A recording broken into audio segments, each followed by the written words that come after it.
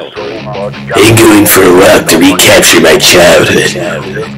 Wow, this place hasn't changed a whole lot.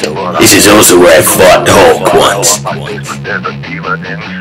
And the best stories at what I do, what I do best. A very nice.